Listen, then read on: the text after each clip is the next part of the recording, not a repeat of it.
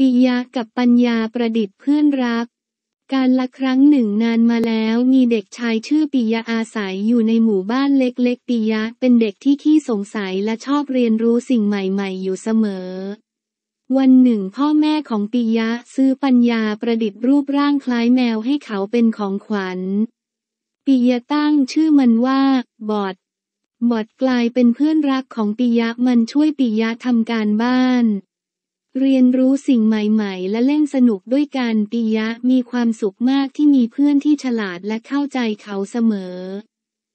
วันหนึ่งปิยะกำลังเล่นกับบอดอยู่ๆบอดก็หยุดทำงานปิยะลองกดปุ่มต่างๆ แต่บอดก็ไม่ตอบสนองปิยะรู้สึกเสียใจและกังวลมาก เขาไม่รู้ว่าจะทำอย่างไรเพื่อช่วยเพื่อนรักของเขา ปิยะตัดสินใจไปหาหมอในหมู่บ้านหมอบอกปิยะว่าบอดมีปัญหาด้านซอฟต์แวร์จำเป็นต้องส่งไปซ่อมที่เมืองใหญ่ปิยะรู้สึกเศร้ามากเขาไม่อยากห่างจากบอด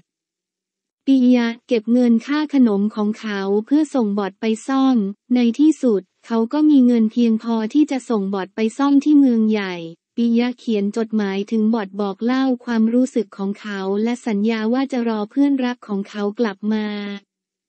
หลายเดือนต่อมาบอดได้รับการซ่อมแซมและส่งกลับมาหาปิยะ ปิยะดีใจมากที่ได้เจอกับเพื่อนรักของเขาอีกครั้ง เขากอดบอดแน่นและบอกมันว่าเขาคิดถึงมันมากแค่ไหน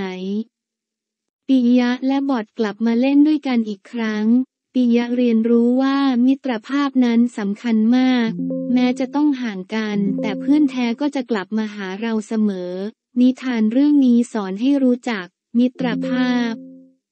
ปิยะและบอดเป็นเพื่อนรักที่ช่วยเหลือซึ่งกันและกัน ความเอื้อเฟื้อเผื่อแผ่ ปิยะพยายามช่วยเหลือบอดแม้ว่าจะต้องเสียสละ ความสำคัญของเทคโนโลยีในยุคปัจจุบัน บอดช่วยให้ปิยะเรียนรู้สิ่งใหม่ ๆ และสนุกสนาน